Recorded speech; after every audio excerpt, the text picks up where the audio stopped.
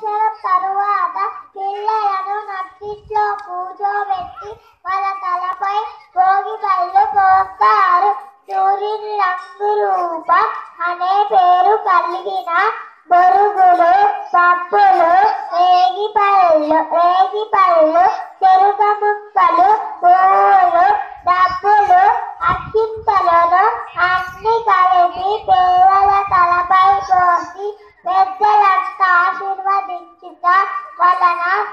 భగవానుడి అనుగ్రహం సూర్య భగవాన్ అనుగ్రహం కలిగిన ఆయు ఆరోగ్యాలతో జీవించగలనుటకు ఇది సంకేతం.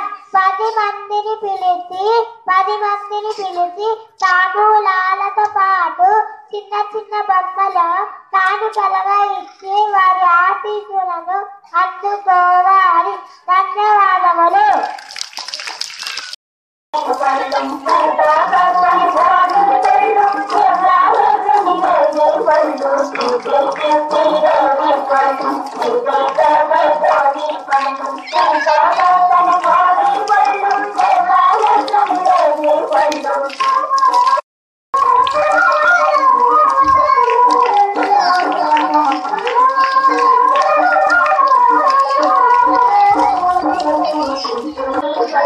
ధన్యవాదములు